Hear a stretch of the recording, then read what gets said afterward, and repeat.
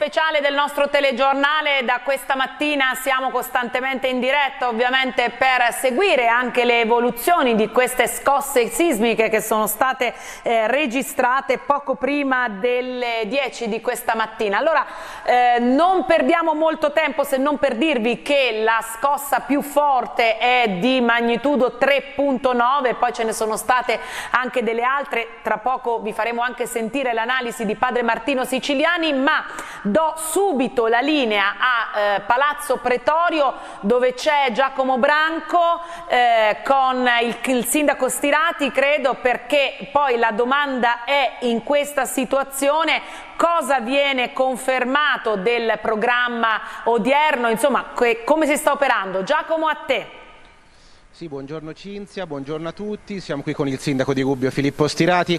Allora sindaco, eh, siamo arrivati eh, ad una settimana spettrale, probabilmente irripetibile per la città, contraddistinta nelle ultime ore da questi eventi sismici che hanno messo sicuramente in ansia la cittadinanza. Ecco, innanzitutto, prima di parlare di eh, quello che sarebbe dovuto succedere, che succederà magari oggi in questa giornata ancora più particolare visto che siamo il 15 maggio, com'è la situazione dei primi rilevamenti e delle prime notizie che vi hanno dato anche i vigili del fuoco? Ma io voglio almeno in questo momento rassicurare tutti i cittadini, noi ci siamo attivati immediatamente, io sono in contatto con la protezione civile, con la Presidente Tesei, eh, con eh, i Vigili del Fuoco, eh, con la Prefettura, eh, stiamo monitorando attentamente l'andamento della, della, situazione a livello anche sismico, non abbiamo oh, segnalazioni di criticità eh, gravi, quindi anche da questo punto di vista non dobbiamo assolutamente alimentare allarmismi, certo la scossa più intensa di 3.9 eh, è quella che eh, ovviamente ha allarmato di più anche la nostra popolazione, giustamente e legittimamente, in una giornata particolarissima, in una settimana assolutamente terribile, eh, dalla quale siamo ancora tutti profondamente segnati, turbati e, e sconvolti. Eh, io voglio dare segnali rassicuranti, ho detto che nel pomeriggio per esempio il Museo Civico eh, dovrà riaprire, eh, non vogliamo assolutamente alimentare no, panico o, o, soprattutto anche eh, messaggi sbagliati che possano scoraggiare eh, pure i visitatori rispetto alla città. Ovviamente dobbiamo stare molto attenti, non sottovalutiamo nulla, però credo che dobbiamo rispondere con attenzione, con prudenza, ma anche diciamo così, senza eh, determinare situazioni di particolare eh, sconcerto, perché questo naturalmente eh, graverebbe troppo sulla cittadinanza e naturalmente anche sulla vita sociale e economica della città. Ho già detto che nel pomeriggio la benedizione del Vescovo qui in Piazza Grande è confermata per le ore 17 eh, e naturalmente seguiamo eh, gli eventi sperando naturalmente nella protezione del nostro patrono. Per quanto riguarda invece eh, sia la, eh, i Vespri in cattedrale che poi la suonata del campanone, mh, mm, ci sono delle novità da questo punto di vista? Al momento no, mi sono sentito con Sua Eccellenza il Vescovo, chiaramente eh, l'unica preoccupazione è che magari nel caso in cui dovessero esserci altri scossi potrebbero esserci reazioni eh, di paura, di panico, di, di, di, di fuga magari delle persone, quindi l'unica preoccupazione è questa, è una valutazione di opportunità le, le, persone possono seguire anche da casa i Vespri che verranno comunque eh, celebrati, quindi ecco questo lo lasciamo un po' alla valutazione del Vescovo stesso e dei cittadini, la funzione religiosa ci sarà senz'altro, eh, si può seguire grazie alla diretta e poi la, la benedizione in piazza è confermata. Se non ci sono altri fatti particolari noi abbiamo eh, nel frattempo anche verificato la situazione del, del palazzo, della torretta eccetera, eh, c'è stato un sopralluogo in questo senso come ce ne sono in corso altri per essere sicuri sui luoghi pubblici, la casa di riposo, i vari palazzi, i musei, le scuole naturalmente, però ecco al momento non abbiamo riscontri negativi quindi eh, a questo oh, particolare eh, frangente eh, sicuramente possiamo confermare anche la suonata del campanone. Ovviamente Sindaco, la testa va questo giorno, che in altri momenti, in altri periodi è stato un giorno di festa. Ecco, eh, come sarebbe stato, il pensiero ci è andato magari anche a lei, se fosse stato un 15 maggio canonico? Beh, insomma, sarebbe stato comunque un po' più complicato, questo è chiaro, non voglio nemmeno pensare a, a, magari alla situazione di una scorsa di terremoto nel momento in cui stiamo facendo la sfilata, per esempio. Eh, teniamo anche presente che eh, il 13 su segnalazione di un cittadino e su intervento dei vigili del fuoco è emersa anche questa situazione di frana sul quinto stradone, altra situazione da monitorare per precauzione, noi abbiamo chiuso a quel livello la strada eh, per il Monte Ingino perché chiaramente eh, possono crearsi situazioni di pericolo per coloro che passeggiano, che camminano e quindi naturalmente dobbiamo sempre tutelare eh, la pubblica incolumità. Quindi diciamo che eh, avremmo avuto una situazione d'emergenza anche da questo punto di vista. Eh, io mi ricordo nel 1984, dopo il terremoto del 29 aprile, affrontammo una festa dei ceri naturalmente in una situazione anche allora molto difficile e molto precaria purtroppo diciamo, come ripeto sempre i cieli sono nella storia, quest'anno come l'anno scorso abbiamo dovuto subire i contraccolpi di questa pandemia, speriamo di prepararci finalmente a una festa che possa liberarsi da tutte queste difficoltà perché credo che tutti noi io per primo come Ugubino, prima ancora che come sindaco e tutto il nostro popolo ha bisogno di riprendersi la festa. Giacomo, solo Dunque, una, doma sì. Sì, una Prego, domanda Cinzia. più che altro di colore. Credo forse come non mai il sindaco non vede l'ora che finisca questo 15 maggio. Chiede Cinziatini da studio, forse come non mai eh, il sindaco chiede e spera che finisca questo 15, 15 maggio. Eh sì, beh, per certi versi senz'altro, anche perché l'amarezza è, è, già tanta di partenza, in più ci si sono messe anche queste, queste scosse, questi eventi sismici e queste ulteriori complicazioni, quindi è evidente che è una giornata eh, da superare. Eh, fermo restando che ovviamente l'omaggio e la devozione al patrono restano eh, intangibili e credo che attorno a questo dobbiamo tutti stringerci veramente per eh, lanciare in avanti la nostra speranza di riprenderci il futuro e di riconsegnarlo soprattutto alle giovani generazioni e naturalmente a tutti quanti perché la nostra comunità non può certamente vivere senza la festa dei cieli. Bene, ringraziamo, il, ringraziamo, ringraziamo ovviamente il sindaco. Grazie, grazie, Giacomo, grazie anche a te ovviamente, eh, torneremo Giacomo Branco a vederlo questo pomeriggio nella nostra lunga diretta delle 16.30. Allora vi diamo intanto notizia che dalle 10 di questa mattina è stato sospeso scusate, il traffico ferroviario sulla linea Orte-Ancona a Fossato di Vico proprio dopo la scossa di terremoto. Eh, I disagi hanno coinvolto eh, l'Intercity 534 Roma-Ancona con 73 persone a bordo e il treno regionale 4153 Ancona-Roma con 150 persone a bordo. Il tutto ovviamente per verifiche di necessità da fare sulla linea ferroviaria ferroviaria invece sono in corso come ci ha spiegato il sindaco a Gubbio le verifiche sugli uffici pub edifici pubblici eugubini, nessun danno è stato sinora segnalato, eh, ce lo ha riferito poco fa anche l'assessore ai lavori Valerio Piergentili. Allora, la regia ci manda la schermata di quali sono state le scosse sismiche registrate, già ce n'era stata eh, una eh, ieri sera che era stata particolarmente avvertita, ma eh, quella che avete sentito tutti alle 9.56 è di 3.9 seguita da un'altra scossa eh, poco dopo di 2.1 e poi ancora le vedete in grafica 3.1, 2.3, 3.0 e 2.0. Quella eh, più forte dicevamo è stata la scossa del, eh, poco prima delle 10 era di 3.9, una profondità di 10 km, eh, l'epicentro è stato individuato nella questa zona del Monte Foce all'incirca per eh, intenderci e proprio questa, ehm, eh, questi 10 chilometri di profondità, quindi i tecnici sostengono che sia abbastanza superficiale, ha fatto sì insomma, che l'abbiamo sentita molto bene, praticamente l'epicentro era sotto i piedi eh, degli eugubini, ma di tutto questo abbiamo parlato proprio per farci spiegare esattamente che cosa è accaduto a Gubbio a partire da ieri sera, eh, abbiamo parlato poco fa con padre Martino Siciliani che è il direttore dell'osservatorio Bina di Perugia, sismologo, eh, lo abbiamo eh, raggiunto ehm, online, vediamo proprio l'intervista che abbiamo registrato proprio pochi minuti fa.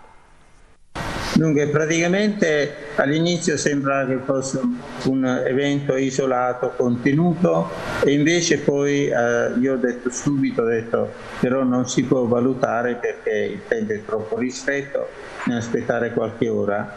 In effetti c'è stato un periodo sismico eh, non molto violento, però abbastanza consistente al punto tale che nella zona da, eh, eh da Gubbio fino a, diciamo così, a tutta la zona vicino al monte eh, dove noi abbiamo le stazioni, il Monturbino, e c'è stata un'attività sismica consistente.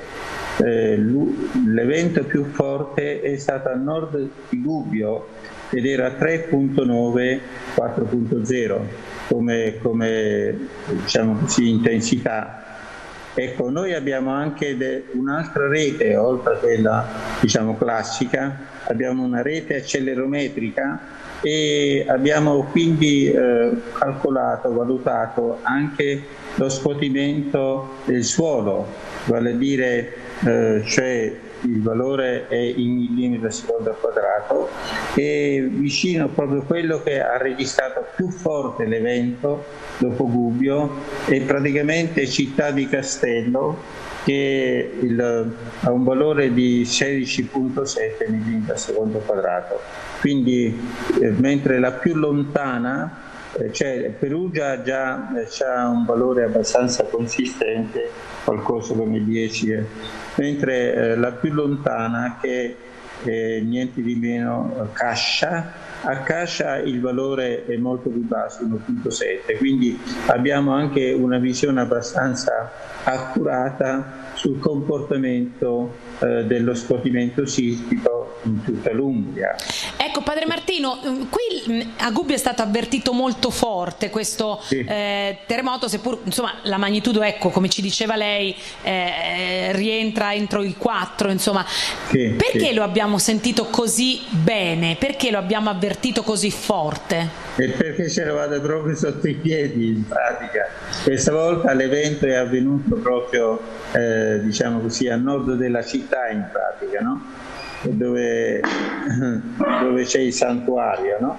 E quindi praticamente eh, diciamo così l'avete avvertito perché eh, la profondità non era molto, molto alta, ecco 10 km e quindi praticamente eh, l'avete avvertito nettamente proprio per questa ragione eh, ma comunque l'hanno avvertito bene anche nei dintorni di Gubbio perché hanno fatto molte telefonate tra questa notte e questa mattina. Ecco, sappiamo, sappiamo Padre Martino che i terremoti non si prevedono, insomma, quindi sì. è, è, è, un po' capzioso chiederle che cosa dobbiamo aspettarci nelle prossime ore, però è possibile che diciamo, ci sia uno sciame che prosegua anche nelle prossime ore? È del tutto probabile non soltanto è possibile ma è probabile perché eh, diciamo così, è un periodo sismico a tutti gli effetti, quindi ripeto non molto violento, però eh, sta seguendo l'andamento normale di qualunque crisi sismica. E quindi è del tutto logico che ci siano altre piccole scossette probabilmente eh, quella delle eh, 4.0 era la scossa principale probabilmente, quindi le altre che si susseguono saranno di, di, più contenute, diciamo, di, non saranno violente probabilmente, dico sempre, no?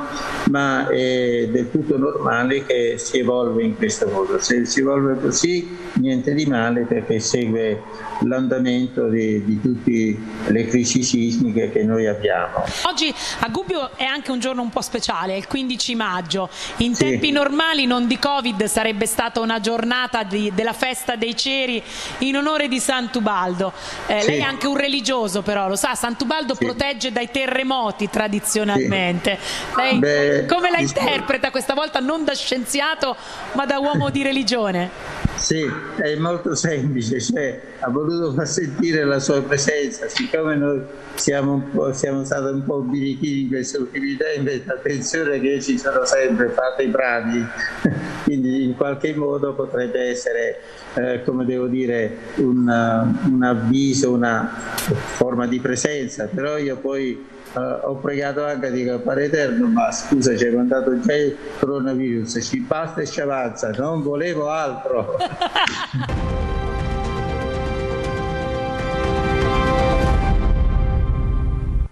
anche simpatico assolutamente padre Martino e allora l'abbiamo fatto sentire, ma è inevitabile che in una città che questa mattina già si preparava a eh, come dire, ad affrontare una giornata difficile per molti perché l'assenza della festa dei ceri insomma pesa per il secondo anno consecutivo, pesa ancora di più, eh, è arrivata. Quindi anche questa scossa che in qualche modo ha eh, creato ancora un'altra novità e ha reso ancora più peculiare questo 15 maggio, se possibile, rispetto a quello dello scorso anno.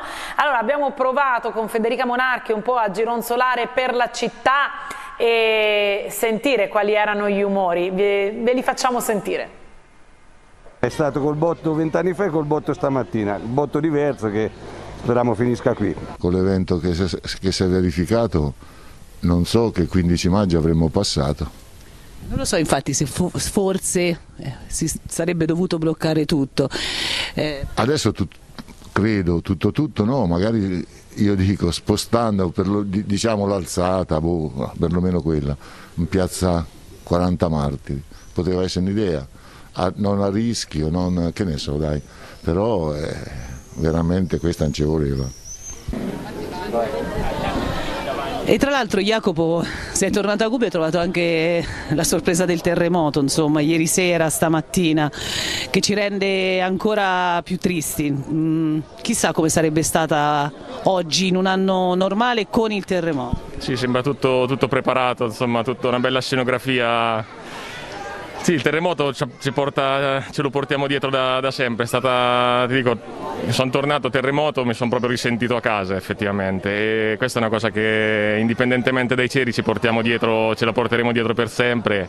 E con questa cornice è stato ancora più, piuttosto, più, più emozionante. Piangiamo i morti purtroppo, noi siamo fortunati che siamo qua, però ci ha portato via per il secondo anno la nostra festa, la festa più bella del mondo. Il nostro è l'augurio quello di ritrovare questa piazza al più presto, piena di gente ma soprattutto piena dell'allegria che solo noi sappiamo dare. Bravissima, ti faccio i complimenti, hai detto tutto te. Mi auguro che dal prossimo anno, ripeto, siamo tutti qua ad abbracciarci, gialli, blu e neri. Assolutamente sì. Condivido. Grazie. Grazie. Ma purtroppo questa mattina, eh, da ieri sera, anche questo evento straordinario di questo terremoto, eh, credo che avrebbe creato notevoli eh, difficoltà eh, in questa giornata. Mattina quelle due scosse che sono sentite molto forti eh, boh, sono state secondo me la ciliegina sopra una torta che è proprio da buttare via. E ho vissuto questi giorni, sai, ancora le discussioni di chi magari pensava di poter fare qualcosa, di...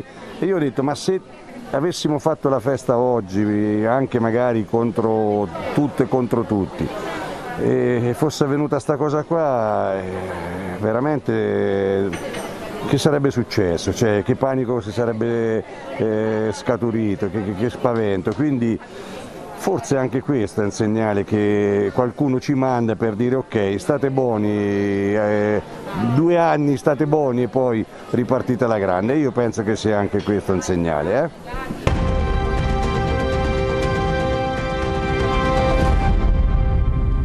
Concludiamo con questa riflessione che a nostro giudizio può essere anche un auspicio. Allora, chiudiamo qui la nostra edizione straordinaria di questo telegiornale, ricordandovi però che la giornata in diretta di TRG non finisce qui, torniamo infatti in diretta a partire dalle 16.30 fino alle 19.30, seguiremo la benedizione in eh, piazza, seguiremo la suonata del campanone, insomma sentiremo le voci, i commenti di questo 15 maggio. Davvero davvero peculiare. Allora, grazie per averci seguito, l'appuntamento alle 16.30.